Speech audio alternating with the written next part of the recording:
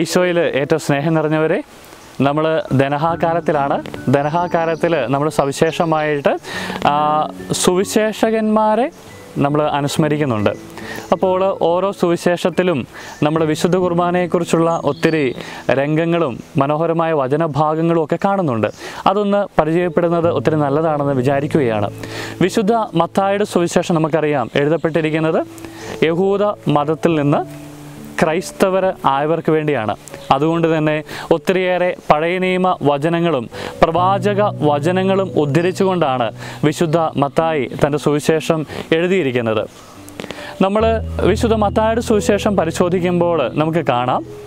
ദിവ്യകാരുണ്യ ജീവിതം പരിചയപ്പെടുത്തിക്കൊണ്ട് ഈശോയുടെ മലയിലെ പ്രസംഗത്തിലൂടെയും കുഷ്ഠരോഗികളെയും തളർവാദ രോഗികളെയും സുഖപ്പെടുത്തുന്നതും ഒക്കെ വഴിയായിട്ട് ആദ്യമായിട്ട് മലയിലെ പ്രസംഗം സൂചിപ്പിക്കുക ഒരു മനുഷ്യൻ എത്രമാത്രം ആന്തരികമായിട്ട് വിശുദ്ധീകരിക്കപ്പെട്ടിരിക്കണമെന്നാണ്.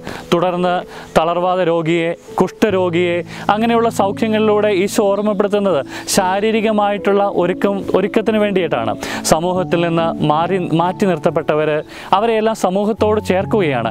അങ്ങനെ ദിവ്യകാരുണ്യ ജീവിതം പരിചയപ്പെടുത്തിക്കൊണ്ട് കുർബാന സ്ഥാപനത്തിൽ അവസാനിക്കുന്ന തുടർന്ന് പ്രേക്ഷിത മേഖലകളിലേക്ക് ശിഷ്യന്മാരെ അയക്കുന്ന മനോഹരമായിട്ടുള്ള ഒരു സുവിശേഷമാണ് വിശുദ്ധ മത്തായുടെ സുവിശേഷം. അപ്പോൾ വിശുദ്ധ മത്തായുടെ സുവിശേഷം നമ്മൾ വായിക്കുമ്പോൾ നമുക്കറിയാം ആന്തരിക ശുദ്ധീകരണത്തിനും ശാരീരിക ശുദ്ധീകരണത്തിനും അതുപോലെ പ്രേക്ഷിത വേലയ്ക്കും ഒത്തിരിയേറെ പ്രാധാന്യം കൊടുക്കുന്ന ഒരു സുവിശേഷ ഭാഗമാണിത്.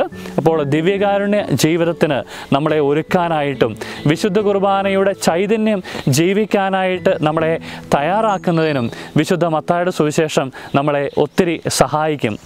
ദൈവം എല്ലാവരെയും അനുഗ്രഹിക്കട്ടെ.